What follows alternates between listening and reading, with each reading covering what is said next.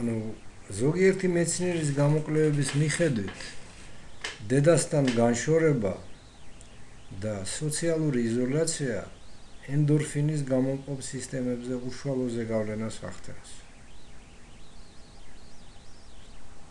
ეს კვლევები ჩაატარა ვანდერკოლკმა 1987 წელს.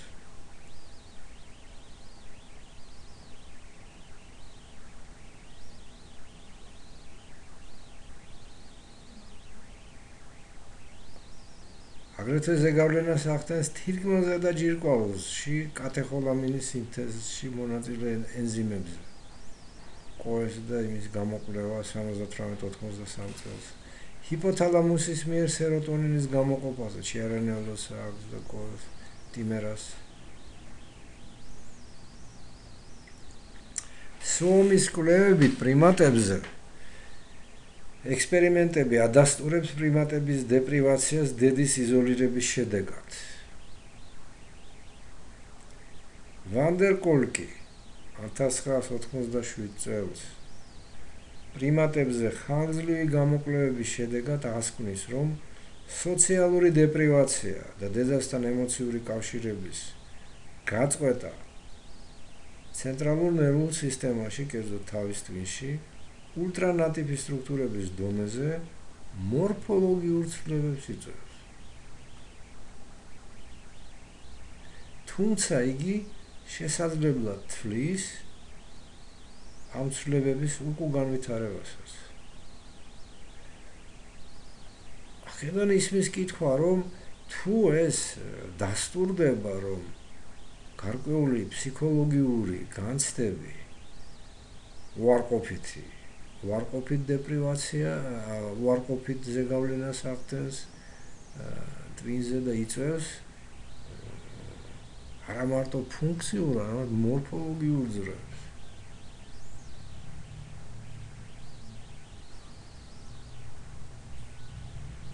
ეს იმას ნიშნავს, რომ დადებითი ემოციები დადებით ძრებს იწვევენ.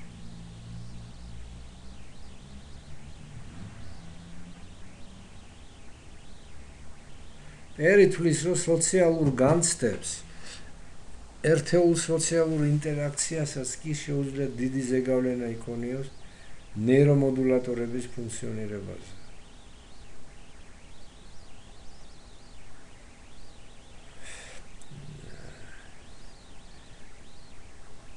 ანუ დადებით ემოციებს იმ კლიმატს რომელიც ასე ვთქვათ ემოციურ კლიმატს რომელიც იქნება ასე ვთქვათ, ჯგუფური ფსიქოთერაპიის დროს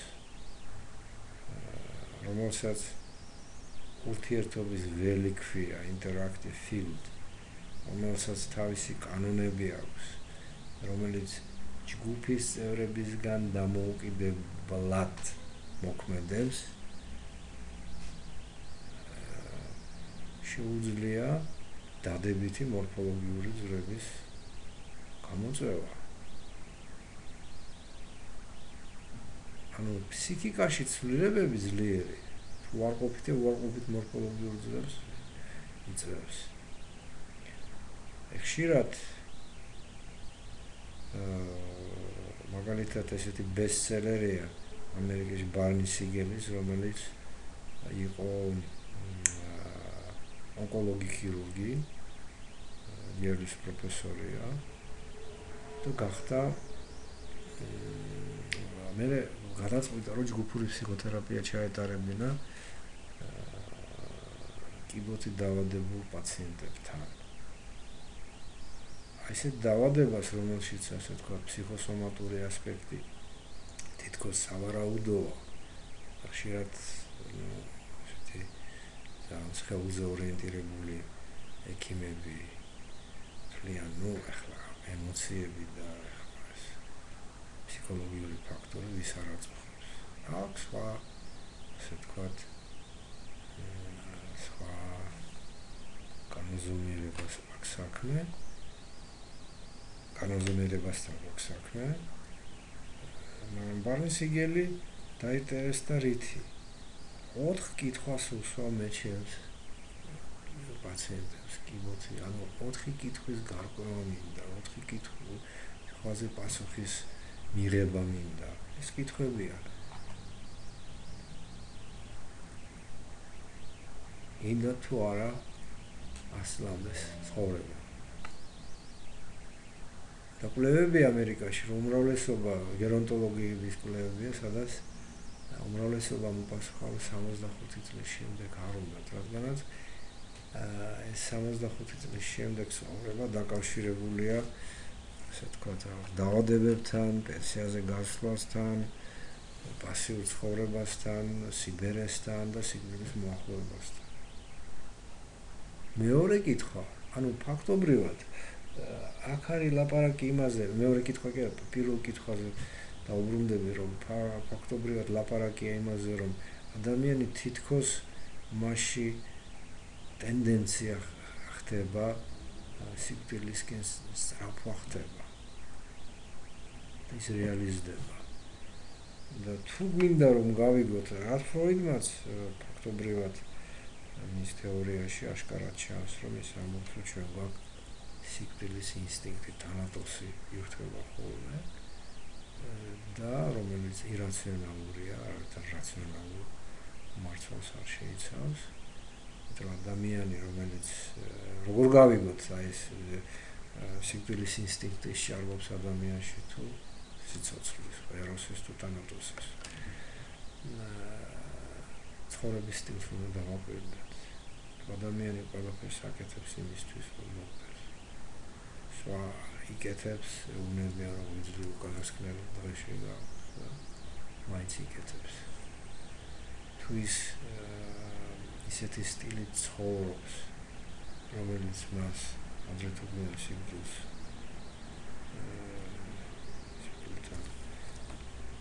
მოკლავს. ეს ნიშნავს, რომ სიკვდილის ტენდენცია მასში შარლობს სიცოცხლესაც. მეორე კითხვა რომელსაც ბარნის იგელის ვას ეს არის კიბოს აღმოჩენის დრიდან ორი ან ერთი წლით ადრე რა უსიამოვნო უსიამოვნებას ქონდა ადგილი. ანუ აინტერესებს ფსიქოტრაუმა. მესამე კითხვა რა შეგჭირდება ეს დაავადება და მეოთხე რა საზრისი აქვს რა მნიშვნელობა აქვს დაავადებას.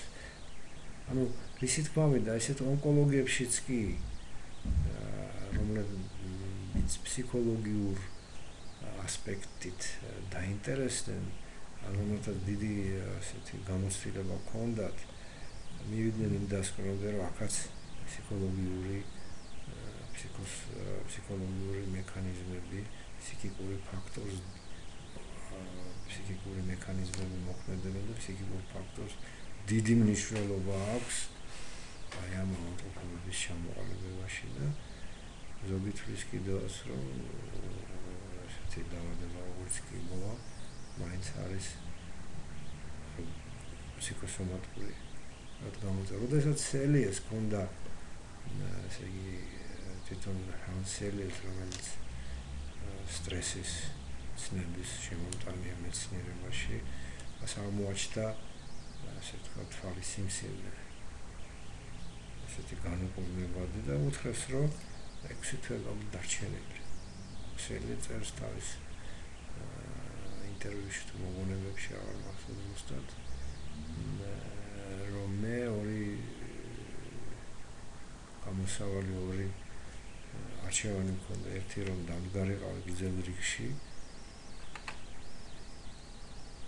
სიკვდილის მომოდიში და მეორე ის რაც რომ დამჭა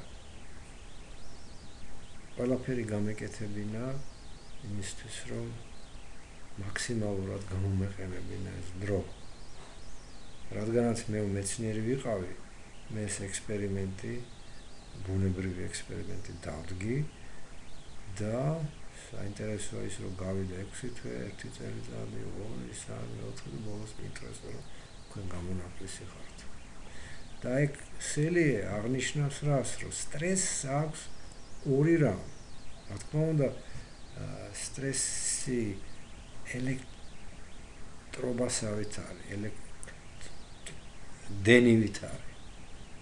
მას შეუძლია გაათფოს სახლი, შეუძლია მოკლას. გააჩნია როგორ ვიყენებ სტრესს. ეს შეიძლება გამოვიყენოთ დადებითად. ეს მაშინ არის საგებელის მომტანი და უარყოფითად.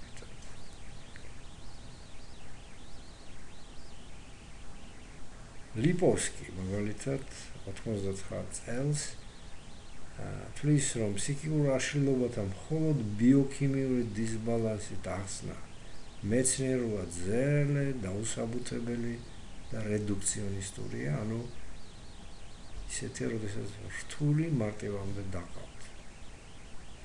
რადგანაც ფსიქიკური აშლილობების დროს ცენტრალური ნერვულ სისტემაში არსებული ნეიროანატომიურ და ნეიროქიმიურ ცვლილებებს არა მედიატორის, არამედ დაავადების გამომწვევი მიზეზის როლს ანიჭებს. ესე იგი, დაუშვათ როგორ ხდება მეცნიერმა რაღაცა აი ამად თუ იმ დაავადების დროს მეცნიერებმა აღმოაჩინეს დაუშვათ რომ სისხლში რაღაცა ცვლილებები აქვს, ან გარკვეულ უჯრედებში არის რაღაც ცვლილებები. ეგრევე ხდება დასკვნა იმის რომ ამის გამოა ეს დაავადება. ან ეს ან ეს კონკრეტული ცვლილება. არავინ არ ამობს რომ შეიძლება ეს მედიატორია ანუ როდესაც რაღაც ძლიერი სტრესი ძლიერი ფსიქოტრაუმა მოქმედებს ადამიანზე ის ფსიქოლოგიურ დონეზეც მოქმედებს და სხეულის დონეზეც ის ცვლის ბიოქიმიას რაც არ ნიშნავს რომ ეს ბიოქიმია მიზეზი იქნებ შედეგია ამის იმიტომ რომ ფსიქო ფსიქიკური ტრაუმის დანახვა მიკროსკოპით შეუძლებელია. თუ არ გამოვკითხეთ ადამიანს, რომელსაც კარგი თუ რა ფსიქოლოგიურ კლიმატში ცხოვრობს, თუ რა ურთიერთობები აქვს, რაზეც ვერ გავიგებთ. და საქმე იმითაც რთულდება, რომ თვითონ ადამიანმა არიცის თუ რა ფსიქოლოგიურ კლიმატში ატმოსფეროში უწევს ცხოვრება. შეიძლება ვერ აცნობიერებს. გეუბნება, ну არაფერი როგორ. როგორც ყველა ვარ, რა ვიცი, გები მივდი არ მუშაობ. რო ჩაკითხავ, ან მეორე სეანსების შეიძლება რამდენი სეანსის შემდეგ ის თვითონ ორმაჩი აფიქრდეს და მიხვდეს გააცნობიეროს ის რაც გაუცნობიერებელი იყოს სრულად ან ნაწილობრივ, რომ მას რა პირობებში უწევს ყოფნა. ის აცნობიერებს იმ მავნე ინტერპერსონალურ ურთიერთობებს, რომელიც მას კონკრეტულ შემთხვევაში კონკრეტულ ადამიანებთან კონკრეტულ სამუშაოზე აქვს.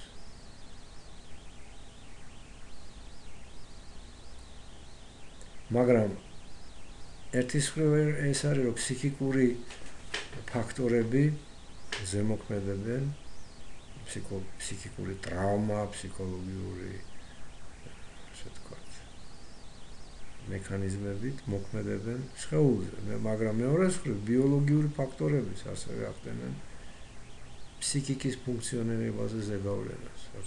აშკარა მაგალითად როზი, პარდესი და ამტკიცებენ რომ ფსიქიკურ მომწიფებას, რომელიც პიროვნების მიერ უფრო სრულყოფილი და მომწიფებული ფსიქოლოგიური მექანიზმების გამოყენებით ვლინდება, ამ ფსიქოლოგიურ ფსიქიკურ მომწიფებას ხელს უწყობს ნორეპინეფრინის დაქვეითება ლოკუს ცერელეუსში, სადაც 60-40 წლის ასაკში ხდებათ.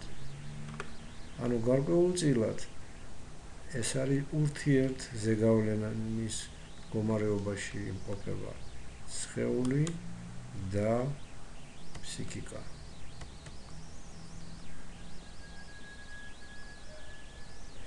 ამიტომ ფსიქიკისა და ტვინის პირველადობის საკითხი ფილოსოფიულ რელიგიურია. და ის მეცნიერების ფარგლებს მიღმა რჩება და ფარგლებს ძილდება.